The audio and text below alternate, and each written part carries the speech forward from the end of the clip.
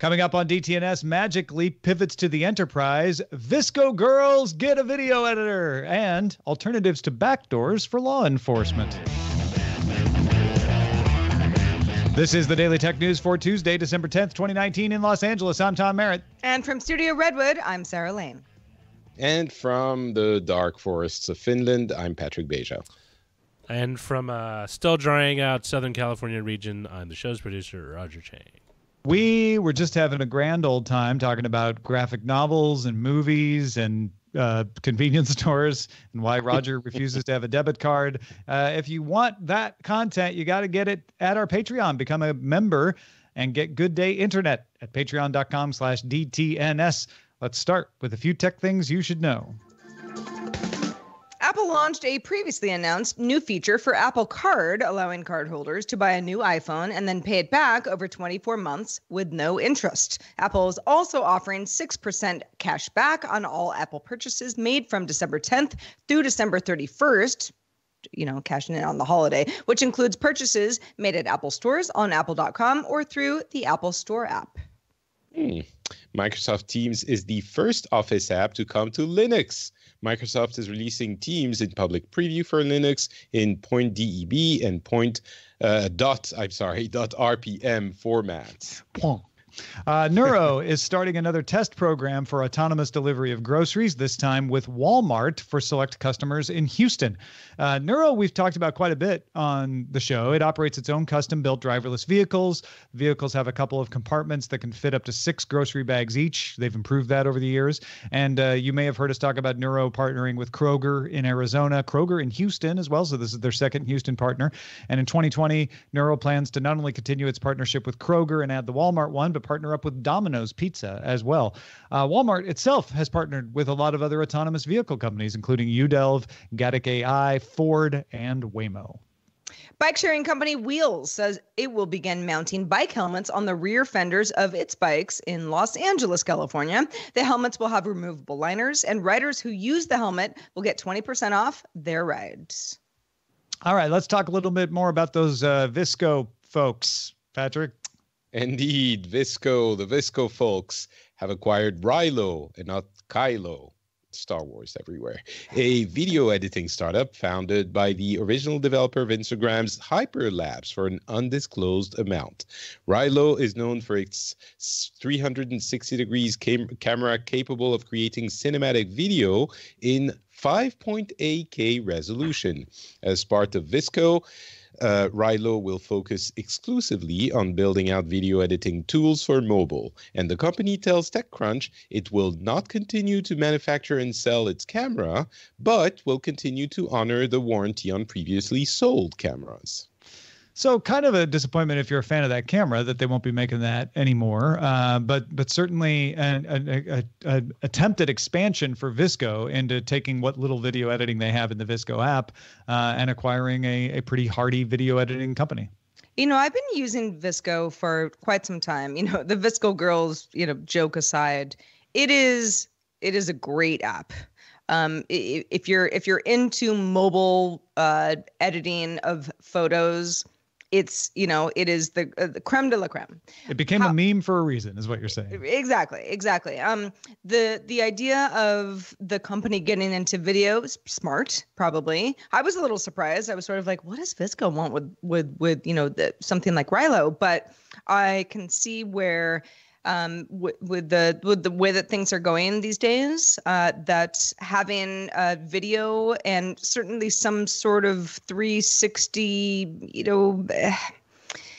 VR something. capable something is, is is good for the company. I, I don't really know what it's going to look like, and and you know, Rylo camera as it's known now is going to shut down, which, as you mentioned, Tom, is probably um, you know a disappointment for the few people who used it but uh but yeah it's it's it's it's it's interesting to see that you know VSCO is is clearly trying to um go into other avenues yeah, and the, the, was, the startup came from a, a, couple of talented folks. You mentioned Hyperlapse, but the other co-founder uh, came over from working on the the photo editing apps uh, at Apple uh, by way of Instagram into into Rylo. So that's that's pretty interesting.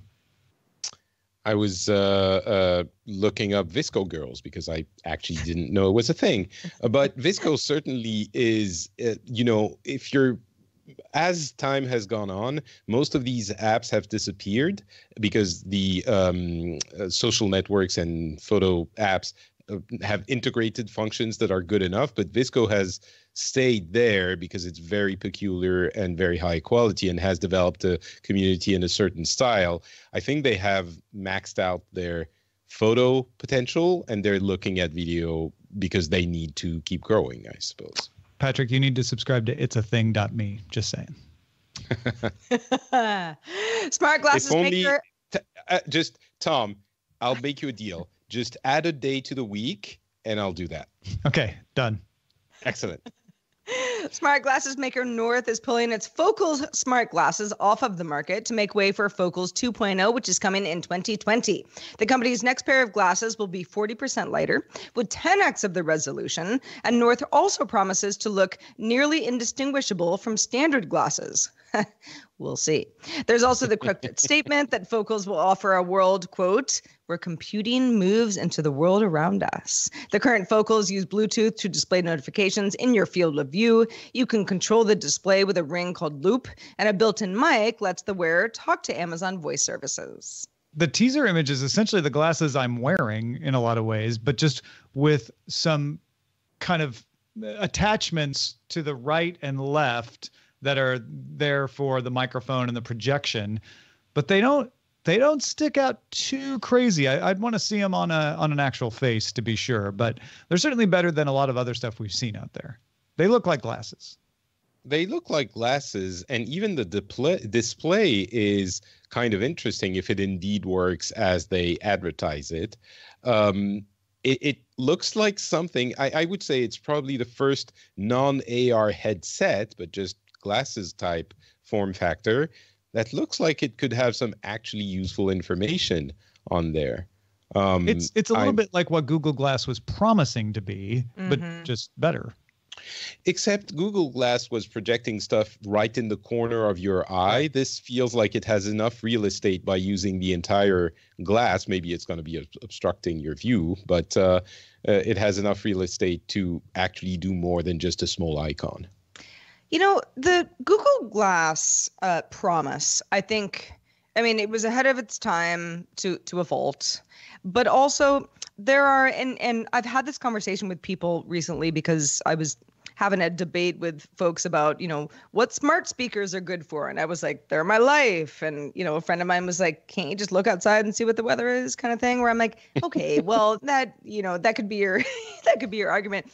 But, but um, in my car, for example, we have a heads up display so I can see, you know, what the, you know, what what my miles per hour um, um, I'm going in, even though I can look down and see that as well, it's like it's just another kind of AR component that isn't necessary, but it's very nice. So I wonder, you know, what in the glasses sense, you know, what is really necessary? Probably not that many things. Mm. Yeah, we'll see if the you know what the price of these are and, and how well they're received. But this is one end of the AR market. It's the end of uh, notifications. We're going to put notifications, heads up display, like you said. Magic Leap is one of the companies at the other end, trying to make something that changes the world around you. It's that's what I consider fully augmented reality, where it's putting things in the world around you. Uh, and Magic Leap announced it's replacing the Magic Leap One Creator Edition, which is sold for two thousand two hundred ninety-five dollars, with a new version called Magic Leap One, but it uses the numeral one, not the word one, and otherwise is almost exactly the same as the old version and sells at the same price. What is new? Is an operating system update and software suite targeted at professional users. Uh, in fact, they have an enterprise suite version of the headset that's a little bit more expensive, about $700 more expensive, $2,995. But that one comes with dedicated support, device management software, and a rapid replacement program, things that companies want if they deploy hardware in the enterprise. Uh, the Verge says Magic Leap is aiming at four categories virtual communication and collaboration, 3D visualization, remote training and assistance, and location based experiences. Magic Leap is going to have to take on the existing enterprise AR folks, Epson, Microsoft, Vuzix, and more, uh, and emphasize their ecosystem independence. They're not dependent on a particular ecosystem, and uh, ergonomics, because Magic Leap is a little bit more comfortable than some of those other headsets. It is tempting to point and laugh, uh, and Very. I think for good reason, uh, which I might indulge in uh, at some point, possibly even now.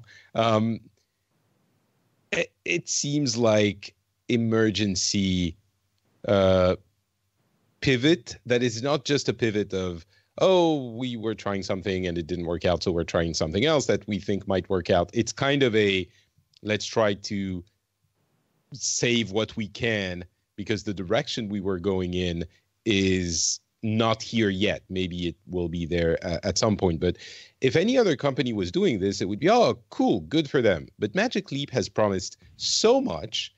And to be honest, I've heard a lot of people talk about those private demos they've had. I still don't understand what the product is. So I wouldn't be a, I wouldn't recommend necessarily this one until I've seen a little bit more to anyone. Yeah, if anything, I look at this, uh, if we were going to say it charitably, as Magic Leap uh, admitting that they aren't that much farther ahead, if at all ahead of others, and enterprise is where augmented reality is right now. Uh, you can compare it to computers of the 70s and 80s. Yes, there are personal computers back then, but they were very niche, and uh, AR is still very niche for the for the for the consumer. Uh, but it does have a viable product map in the enterprise and and magic leap is finally admitting that and leaning into it which i think they had to.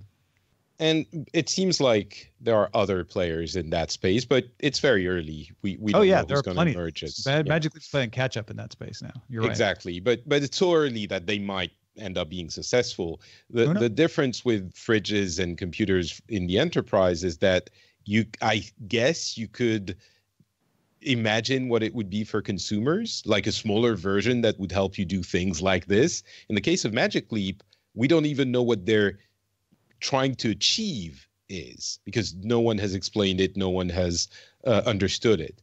Uh, maybe they do have a secret, wonderful product in in development and in research, but we just don't know. All right, hand tracking is coming to the experimental tab in the Oculus Quest settings uh, as a free update by the end of the week. Uh, actually, I believe it's already implemented, or maybe it's coming. Anyway, it's very soon. Uh, at launch, it will only work with the Oculus root menu system. An SDK for hand tracking will go live next week, and it will not work with Oculus Link. So, the Oculus Link is the thing that enables you to connect your autonomous Oculus Quest to your PC to use Oculus Rift PC dedicated games on your Oculus Quest. Are you following? Yes, sort of. Uh, so, in other words, when I've plugged my Oculus Quest into a PC, I can't use the hand tracking. And when I am not plugged into a PC, I can use the hand tracking to optimize my settings, I guess, until some until that SDK comes out. Yeah, but it is, you know, the, the launch is minimal, but the promise is extremely exciting because uh, modeling your hands inside a VR world means you have that much more of a direct connection with the environment you are uh, immersed in. And as good as the um, uh, controllers are, and they're pretty good, having your hands themselves mo- modeled could be easier, cheaper, and even more immersive. So it's still early days, but it's early days of something that uh, actually works and we can understand. It's and like it's, the uh, slow march to the merging of virtual and augmented reality. You know, being able to see a little bit of the real world in the VR. Um, and I think I think that's that's cool. I like it. I, don't know that I would call it merging with uh, AR because the controllers actually try to emulate your hands anyway. You end up with those weird gestures where you have your fingers pointing out and and stuff like that. Uh, it's to me, it's more uh, just the control scheme that becomes more natural. Epic has delivered Fortnite for Android outside of the App Store since August of 2018. On Monday, 9 to 5 Google reported that Epic intends to submit Fortnite to the Play Store with a request for an exemption from the 30% cut that Google takes from in app transactions. Epic told The Verge it wants the exemption for all developers, not just itself, and said that the tie in of the payment service with the fee is illegal and notes that the developer distribution agreement does not require developers to use Google Payments at all. Epic only takes 12% of its own uh, from its own game store, and the Fortnite installer was recently rebranded as the Epic Games app. Patrick, yeah. I, I hear you chuckling. uh, when Epic says, you know, we want it for everyone, not just for ourselves. So it's not self-serving at all, right? Right? I mean, um, sure they do. Why? Why wouldn't they? It can't hurt. Yeah, of course. Um, uh, I mean, that being said, we should not uh, underestimate Epic. They have, they are extremely aggressive. It's not the first time they are doing something kind of like this. They were uh, railing against Microsoft with the Windows Store that they were afraid would um, make them more isolated and make it more difficult for developers like them. They it's not hundred percent clear, but they already have a way to sideload Fortnite slash uh, the the the store on Android. Um, and so they have already gotten all the people they could, I suppose, through that way. But they also want to be available on the official Play Store, which is understandable. I think we're getting to a point where those 30% are a little bit um, compl- a, a, a, little bit difficult to live with because in an open ecosystem like Windows, Epic could actually go in and challenge the incumbent uh, Steam with their own store and uh, get a lower cut to entice developers. Obviously, on mobile, it is just not possible. So that's where we get into the um, uh, monopoly issues. Yeah, it seems to me like the strategy here is Epic withheld Fortnite from uh, play to put some pressure on it because it could see that it wasn't going to get any of the money. Uh, now it's coming back to the table to say, well, wait, wouldn't you like to have some of the money instead of that none of the money that you've been getting? Let's talk. Google's holding the line and saying, we're not going to talk. It's 30% for everybody. That's all there is to it. But I think the other thing that's interesting is Epic rebranding the Fortnite installer as the Epic Games app means if they were to win this, they would then be able to have all their games through that installer. Uh, so, so there's a little more on the table for Epic, and I think that's why they're pushing this now. Yeah, of course. And it's, I mean, the, the problem that Google is having is that if they agree to it for Epic, then they will there will be more exceptions. So yeah. that's a Pandora's box they don't want to open. Same and that's with why Apple. Epic's saying we're we were doing it for everybody because they know Google would have to do it. that both of those giant companies fighting it out are actually doing it for everyone. Yeah, they're, they are. They're so kind. Hey, folks, if you want to get all the tech headlines each day in about five minutes, be sure to subscribe to dailytechheadlines.com.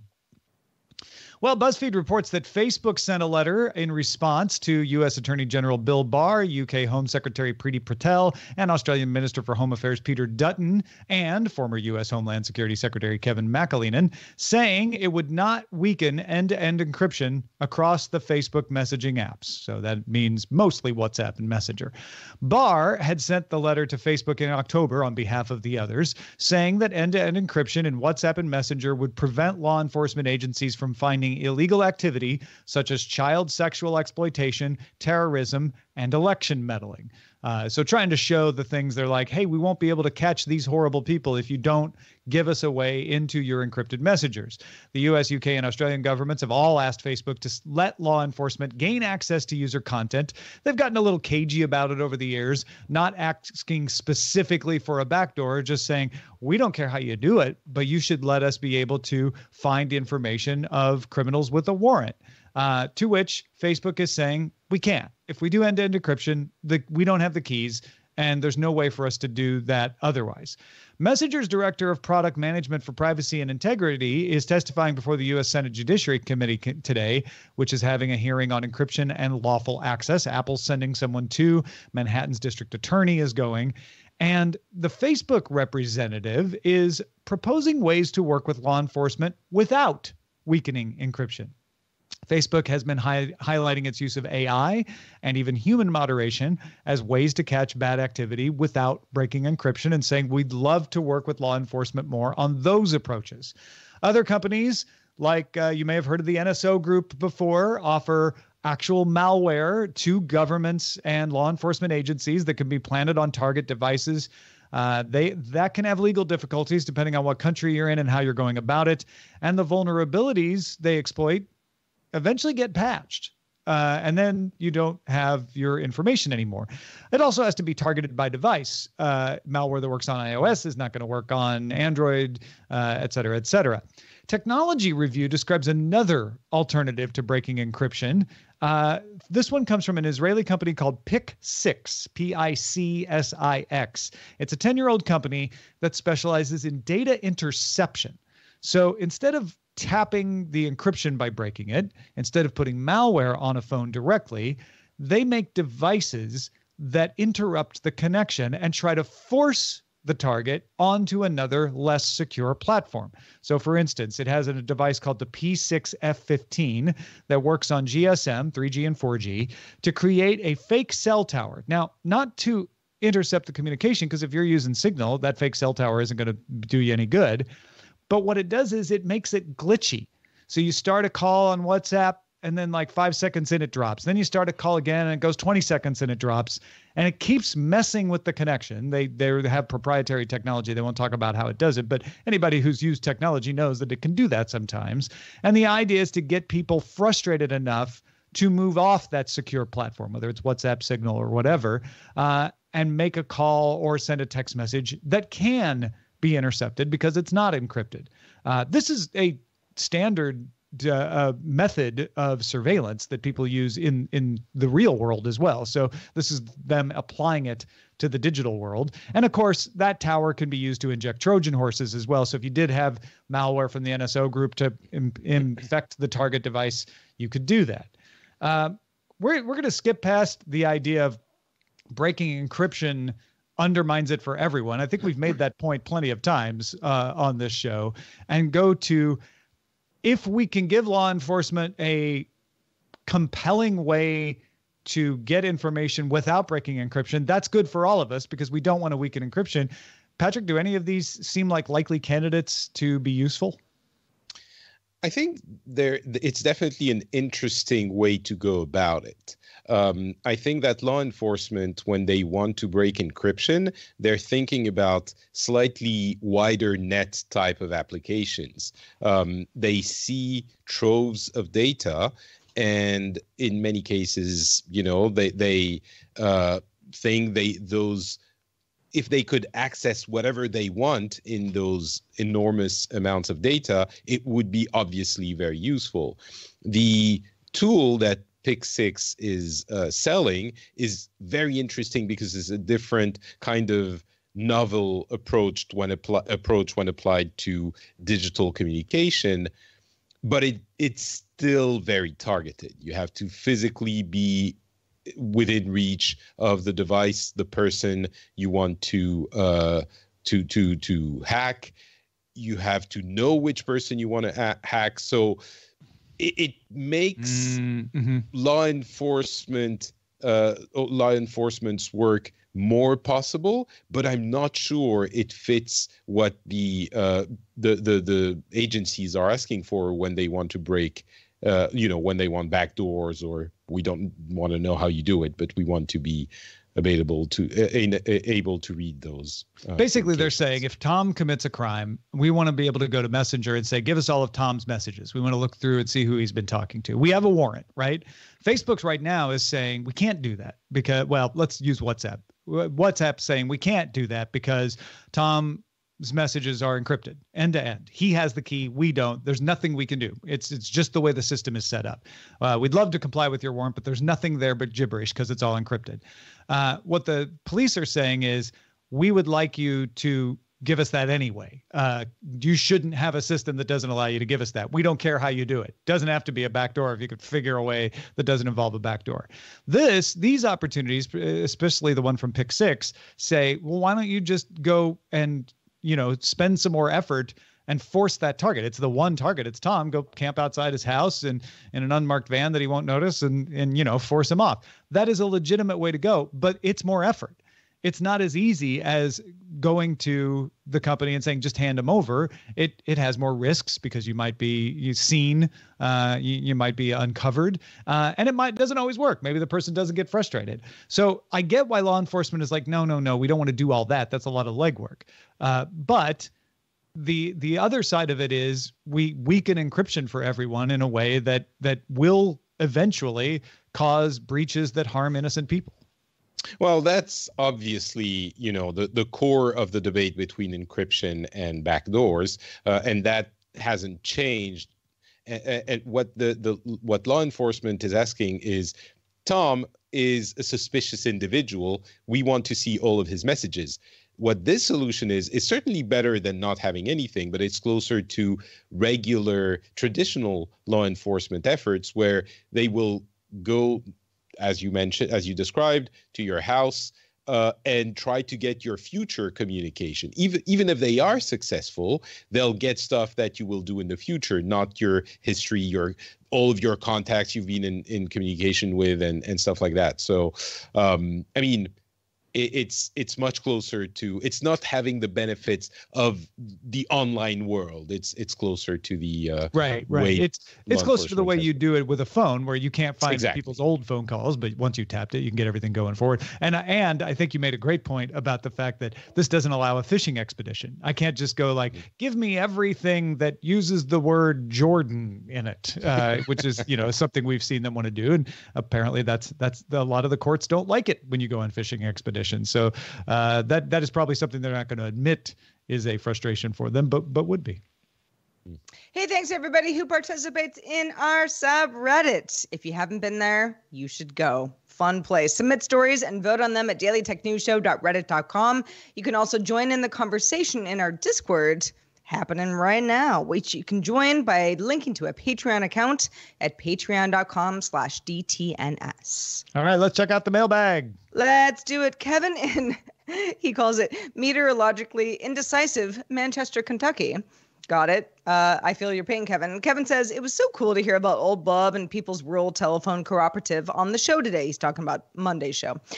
Kevin says, I live 20 miles away from that single traffic light that you mentioned. I'm in neighboring Clay County, and I thought I'd share with you some boots on the ground insights. I've purposely driven to the most remote areas of Jackson and Owsley counties to see if they really brought fiber to everybody that they claimed. I've sat in my pickup, gobsmacked to see mobile homes that were in terrible disrepair but had a fiber line running from the nearest utility pole all the way into their homes. The terrain is steep, it's deeply wooded. Mules can pull heavy line through that terrain much more safely and effectively than ATVs.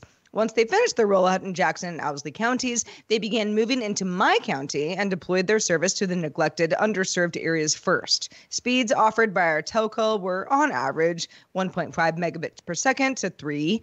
Surprisingly, smirk and eye roll, says Kevin, within months, that telco was able to at least double everyone's speed within a matter of months. Like you always say, competition is good. I thought you might appreciate the telco's best efforts. Hmm. To give some perspective on how economically desperate this area is, here's a story from 2014 where our, our, our, counties were named the hardest places to live in the United States. He links us to a New York Times article, which will be in our show notes.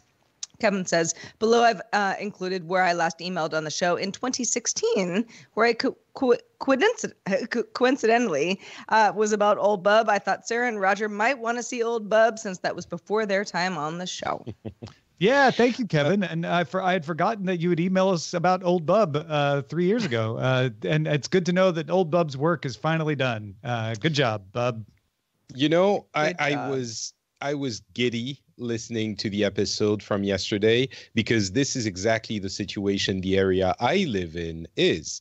Um, and the efforts were definitely community driven. And the fact that in the US, those efforts are consistently uh, uh, squashed by the the big, well, by many actors, is infuriating because it can work and it can help communities, it can help people, and that is definitely one of the options that uh, uh should be available to those communities. It's infuriating that it's not happening because, yeah, it works and it's fantastic.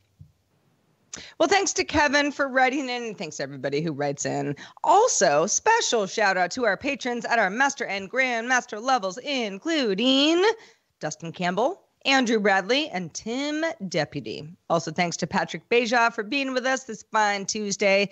Patrick, I know it's late where you are. Uh, hopefully, you're holding up. Uh, what's been going on in your world? I guess I would recommend the Pixels because it's the end of the year and we're doing the end of year episode uh, very soon. So if you enjoy video games, go check that out. Pixels is an easy word to remember to type into your podcast app.